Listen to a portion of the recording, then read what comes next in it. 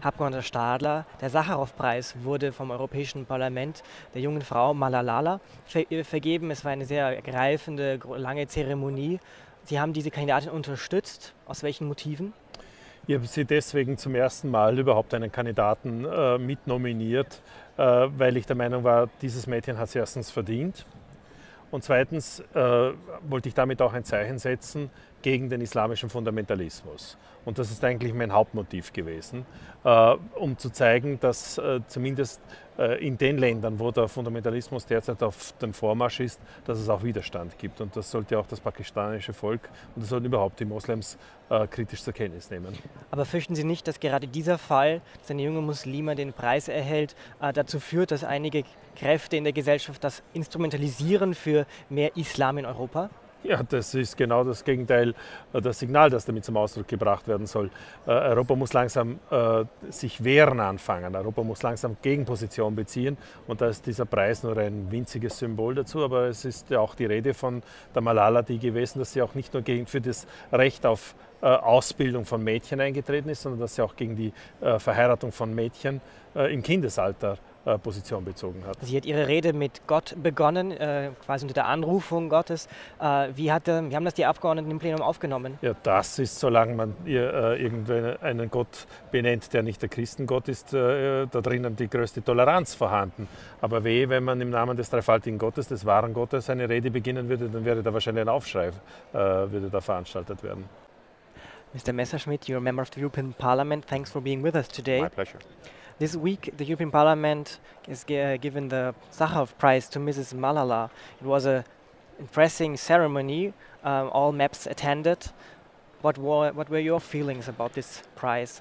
Well, I think uh, for once we really found a very, very good candidate uh, for the Sakharov Prize. I think uh, this young girl uh, who really has fought and felt on her own body uh, the fight uh, for freedom and the right to education, she's the right person to grant this prize.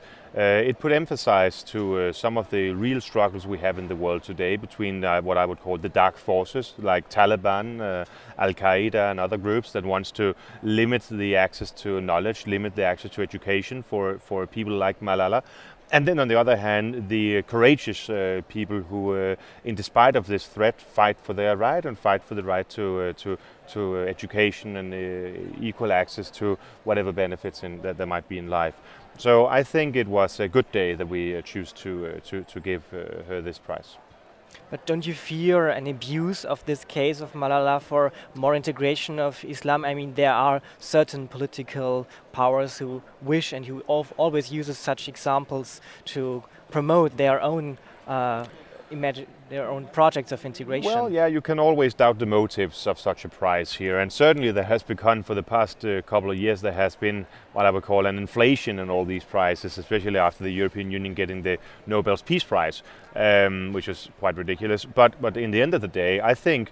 Uh, what Malala symbolizes is the very fact that when it comes to a country like Pakistan, there are different groups um, the very dark forces of the Taliban who wish to live in the caliphate state with the, the, the, uh, the Quran as the only uh, law and it'll be like the Middle Ages or even, even worse than that. And then people who believe in freedom and, and, and a modern life. And obviously, um, if you have uh, unrestricted uh, migration to Europe, you will have people coming from both, uh, both uh, groups you will have the very fundamentalistic uh, uh, people coming in, as we have seen in, in terror attacks and other occasions in, in, in, Europe. And of course, then what, what we could hope for people like uh, Malala. So I think uh, having this example now being discussed and, and, and, and, and as a symbol of at least uh, people in Pakistan also fighting for freedom rights and, and right to education, that is actually good, not only for Malala in the case of, uh, of her cause, but also for the discussion of, of migration.